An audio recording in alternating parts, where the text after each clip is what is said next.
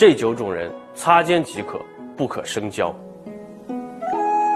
第一种人，轻诺寡信的人，把许诺当作玩笑，信口开河，随口说说，背后却从不行动、不作为，言而无信，何以深交？第二，奉承谄媚的人，与人相交别有用心，话不真心，言不真意，需要你时热情积极，不需要时则狠心抛弃，阿谀之人不可信。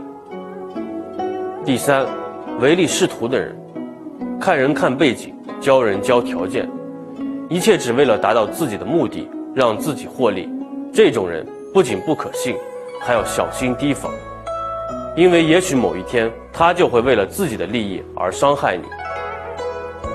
第四，嫌贫爱富的人，只交权贵而没有善心和同情心，把人分为三六五等，区别对待。这种人往往善巴结，爱讨好，但如果你平庸又贫穷，他则根本不屑与你打交道。第五，城府太深的人，这种人或许无害，但却也难辨真心，心思太多，往往也精于算计。对于城府太深的人，有时话只能听三分，信三分，让自己保持一点怀疑，才能避免被利用算计。第六，八卦多事的人，这种人也许无心，但却十分热衷于处处打探、刨根问底。这种人往往容易造成间隙隔阂，破坏你世界的和谐和安静。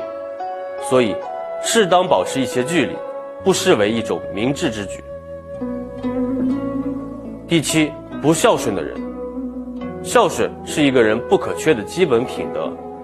如果对生养自己的父母都不能存有孝心和感恩之心，又何谈期待他能对你心怀感激呢？不孝的人不值得交心。